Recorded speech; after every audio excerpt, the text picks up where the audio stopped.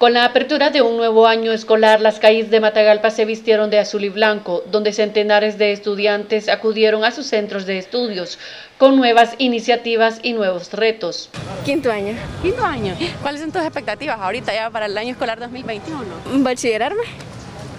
Siempre con el protocolo anti-COVID. Sí, con el lavado de manos, en entrada, los mascarillas. Sí. ¿Ya siempre has estudiado acá en el instituto?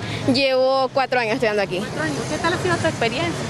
Buena, de alta y bajas, pero ahí vamos siempre. Este, pasar con buenas notas el año. ¿Estás emocionado de ser tu primer día de clase? Sí. Ser mejor alumna y primeramente agradecerle a Dios por un nuevo año.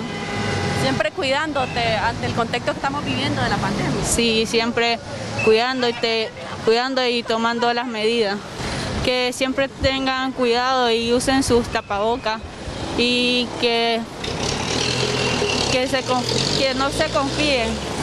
Y entonces va a ser un nuevo reto para todos los estudiantes adaptarse a las nuevas formas de clases que estamos recibiendo y además de adaptarnos, empezar a ver cuáles son nuestros nuevos cambios de cómo estamos pensando, ya que podemos implementar medios tecnológicos y medios presenciales.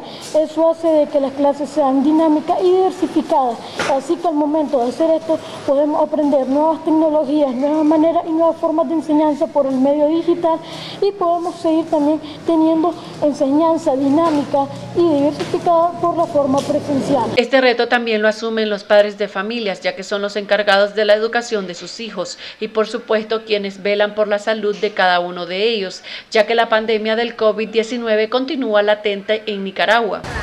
Pues las de toda mamá, ayudarlas y sacar adelante y ver que tengan un futuro mejor.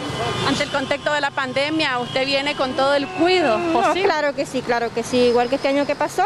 Para que no sea un obstáculo. Para que no sea un obstáculo en su año de clase, pues hay que prevenirlo, hay que alinearle su alcohol, como siempre, su mascarilla. Aunque hay personas que la descuidamos, ¿verdad? Pero eso para mí no es correcto. Siga adelante, que sea buena alumna, que siga... con el cuidado. Sí, siempre con el cuido, me va a dejar. La cuido, estoy pendiente de ella por las malas, malas compañías que vienen. Emocionada porque dice que ya va a cumplir las metas que se propone porque también tiene propósito. Según datos del Ministerio de Educación, el departamento de Matagalpa cumplió la meta sobre la matrícula escolar que asciende a los 41 mil estudiantes distribuidos en 161 centros de estudios, de acuerdo a su nivel académico, desde la primera etapa inicial hasta la secundaria, informó Flor Delis Ordóñez.